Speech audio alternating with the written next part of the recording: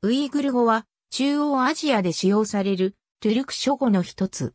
中央アジア東部のタリムボン地周辺で現在話されている。ウイグル語はトゥルク諸語の南東語群に属す言語で現代ウズベク語と非常に近しい関係にある。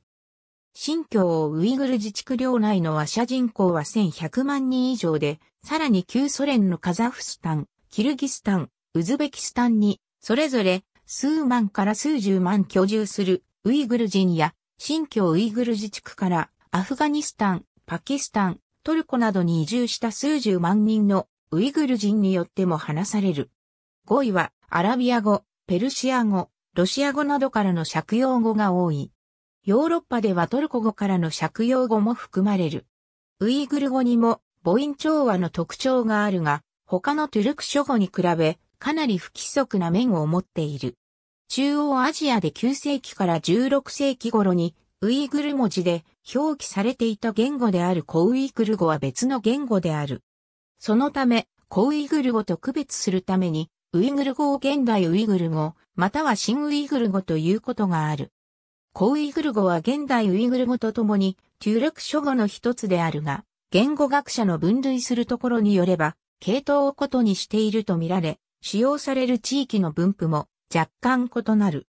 現代ウイグル語の話者は20世紀に至ってウイグル人と呼ばれるようになった民族であり、古ウイグル語と現代ウイグル語の間には断絶があると考えられる。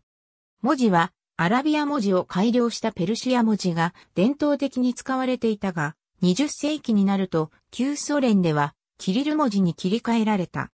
一方の東トルキスタンではラテン文字が公式に採用されたものの、1982年から改良アラビア文字の導入によってペルシア文字の使用が復活している。現代のウイグル語では改良アラビア文字を用いる。これは母音を書き分ける符号の追加やペルシア文字で同音となる子音の除去を行ったもので、すべて一音素一文字に対応している。また、文字の体系としても他のアラビア文字におけるようなアブジャドではなく、ラテン文字と同様のアルファベットとなっている。なお、この改良アラビア文字をウイグル文字と呼ぶことがあるが、コウイグル語で使われていたウイグル文字との関係性はない。20世紀初頭以前のウイグル語では、アラビア文字は、アラビア語やペルシア語での綴りにより近い形で用いられていた。改良アラビア文字の文字コードセットは、中国の国家標準規格に規定されている。主要なラテン文字表記は3通りある。Windows のウイグル語キーボードの配列は以下の通り。http://l.minoh.osake-u.ac.jp スラッシュ flc スラッシュ ug スラッシュ